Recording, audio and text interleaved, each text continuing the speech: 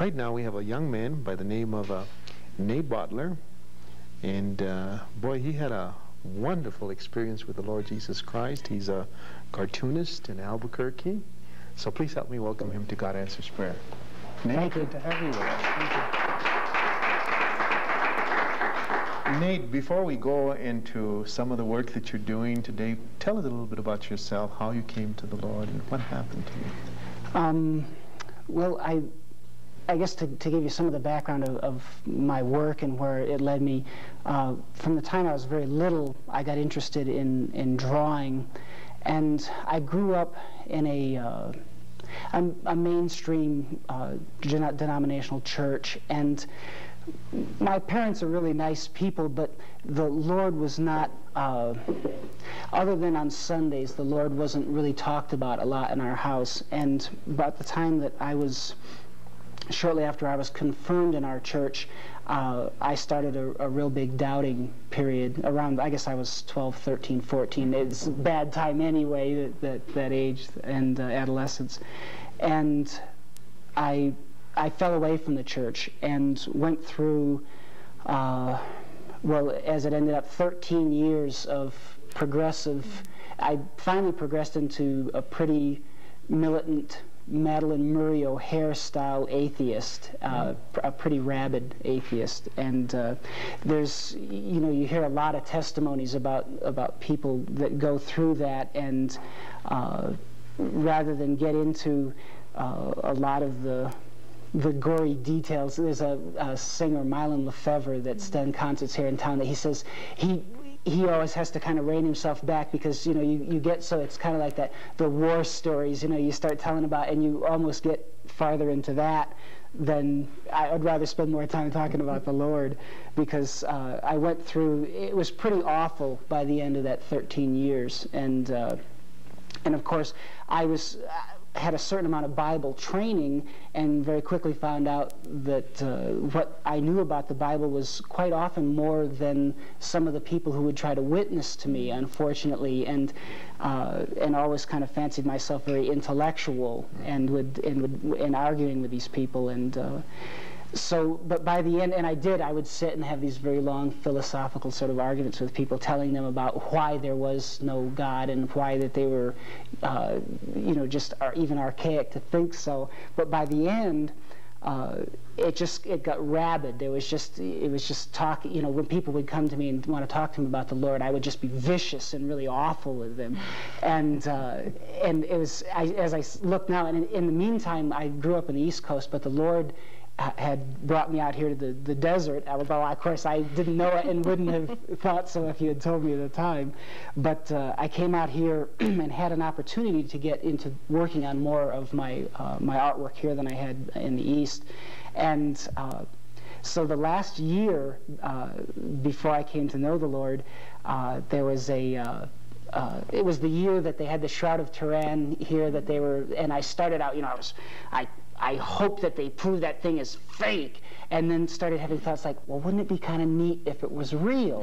And I thought, well, what am I thinking about, you know? and then that was the year that the Pope came to America, and all these people came out in the street, and I was like, you know, that Pope. And then when all these people started showing up, and everyone was so happy to see him, I was like, well, that's really kind of neat. And then I thought, well, that doesn't make any sense. Why am I thinking that? And I really thought I was losing my mind because after 13 years of just not believing any of this, to have these thoughts start to come to my head.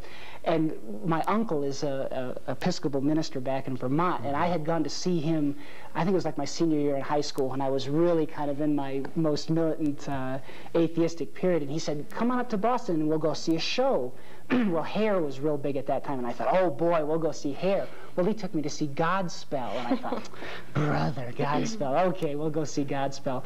Well, I really enjoyed the music, and as we left in the lobby, I bought the album, and he was like really encouraged, and I said, hey, don't get your hopes up. The music is, is nice, but I'm not getting into the words or anything like that. Well, I kept this album with me, and as I, as the Lord was bringing me closer and closer, and I was, like I said, I really thought I was losing my mind. I thought, well, I, I just wanted to listen to things that had to do with the Lord. And I had one of these little, you know, those plastic sound sheets they send you in the mail. And it was like, because it was coming up on the, the holidays on Thanksgiving and Christmas. And I had one of those, and there was some, there was Christian songs in that. And I thought, well, I got this to listen to, and I have Godspell. and it was almost exactly a month before Christmas. This is seven years ago now, eight years ago. I was I was in my I had lived in this little apartment by myself, and I, I, listened to the whole Godspell album, and they got to the end, you know, after the crucifixion, and they have that wonderful where they, this, he sings about, "Oh God, I'm dead," and then it, it, gets kind of quiet, and then they start singing "Long Live God," and I started singing along with the record "Long Live God," and at the time, I, I just it felt like it just a chill to me, but now I know it was the Holy Spirit just came right mm-hmm. down on me while I was singing this music, and for the first time in 13 years, I went down on my knees, mm-hmm. I was crying, and I was like, and I thought, I don't know what to pray and I don't. But I was just, I was so overcome. It was just still, it still gives me chills now to think about it. It was, it was su such a wonderful experience that just after all the awful things I had done, that the Lord just came down and just He forgave me. He still loved me. He was still, you know, ready to call me back. And uh, and I had gone through one year. I had quit from a, a printing place where I was working, and. Uh, learning about commercial art and I'd done a lot of cartooning before that and I'd gone through one year of business you know as an atheist miserable year. It didn't go well. And, you know, it sounds like, you know, a lot of times I hear people tell these stories and I think, yeah, yeah.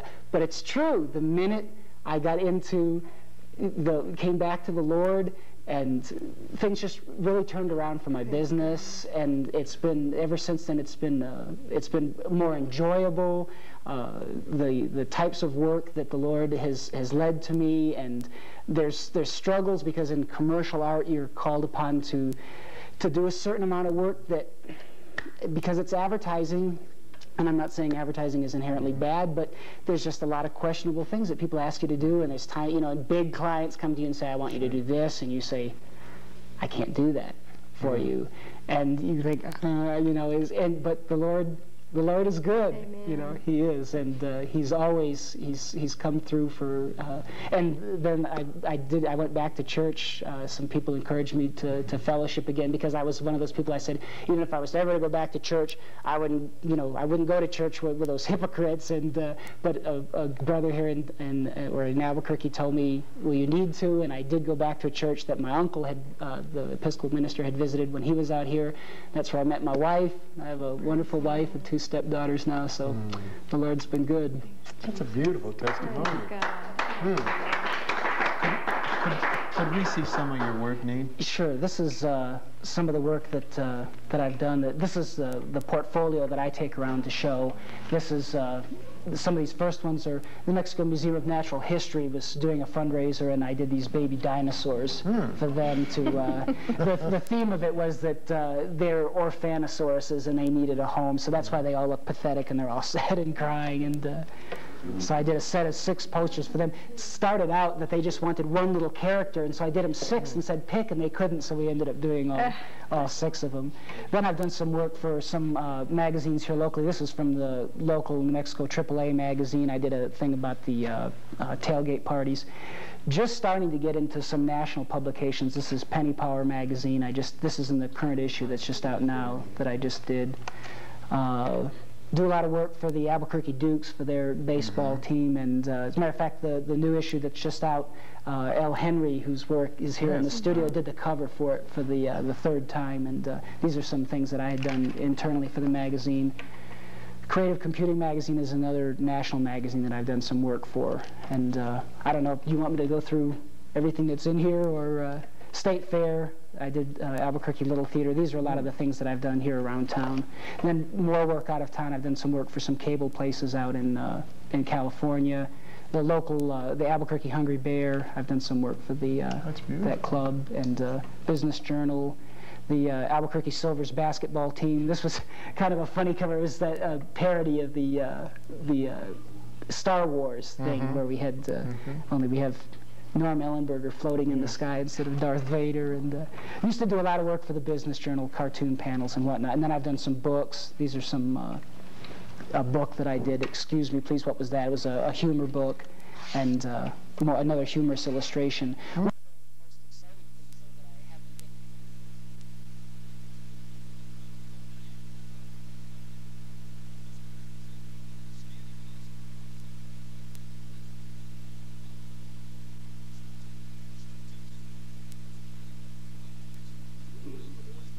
Station break, and then we're going to be back with more on God Answers Prayer. But continue calling 883-1111, 983-1111. Remember, you can call that number 24 hours a day.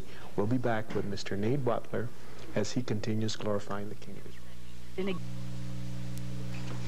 Well, welcome back to God Answers Prayer. We've been uh, talking to Mr. Nate Butler over here. He's a cartoonist in uh, Albuquerque, and uh, he, you just heard his testimony. You were saying, uh, Nate, as we went for a station break. Yeah, one of the exciting things that's just recently happened is that the, the Lord has, has given me the opportunity, uh, opened some doors for me to do uh, national comic books. I've just started doing work for Archie Publications. These are uh, two of the books that I've just done. And the really neat thing about this for me is that the Lord has uh, gave me a vision several years ago about doing Christian comic books. Uh, there was I've, I've been a comic book collector for quite a while, but really had to stop collecting, quite frankly, because uh, the not just because of the the sex and violence, but the, some of the mainstream comics, the ones that Sure. if you go into a comic store and if you complain about the type of material they carry. Uh, you know, they'll say, well, all our adult comics are all over here. You know, all the drug comics or all the gay comics are over here, and all the, the good stuff, you know, that we let the kids see is over mm. here. But you go over and look at the, the mainstream comics, and they're the ones that you can buy in your convenience stores. The heroes, and I was telling some friends this last night, and they just couldn't believe it. There are comics where these heroes, I mean, the, the, the good red, white, and blue type of heroes, literally, there's one comic where they call upon a demon. They hold a seance and they call a demon mm. forth to help them battle whatever it is that they're battling. I mean, I just didn't get much farther than the first couple of pages where they did this. And the Lord has really impressed upon me that, I mean, there are comics out there already that, uh, as a matter of fact, Al Hartley, who is an Archie artist, uh, has done Archie Christian comics before, but they're more for uh, they're more for kids like in a Bible study group that Yeah. kids that are already believers. And the Lord has really impressed upon me the need for comic books that are like almost packaged like something like MTV, something that just looks really now.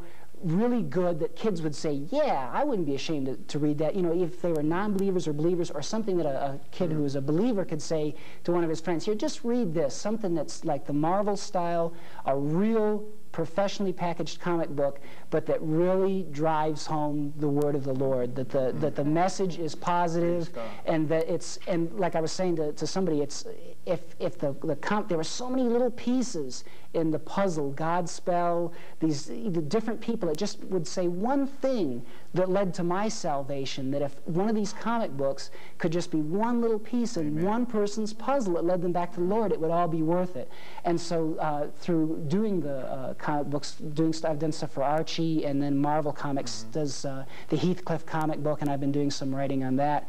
I feel like the Lord has really been putting me through a long training period to get the background, the publishing experience, to learn how the work looks, to make the contacts, and I'm I'm trusting in the Lord that that there's going to be a time when we'll be doing Christian comic books of a kind that uh, we can all be proud of here in this state and nationwide, and that uh, and that we'll be reaching some people for the Lord. Well, praise God. Well, Nate, I believe that God is truly, truly going to grant you your heart's desire. I believe that He's given you the ability already to do it, and now go to it and do it for the King of Israel. He'll open the doors. Thank you, so much for being with us. Right now we have Terry Matthews who's ready to sing praises to the King of Israel.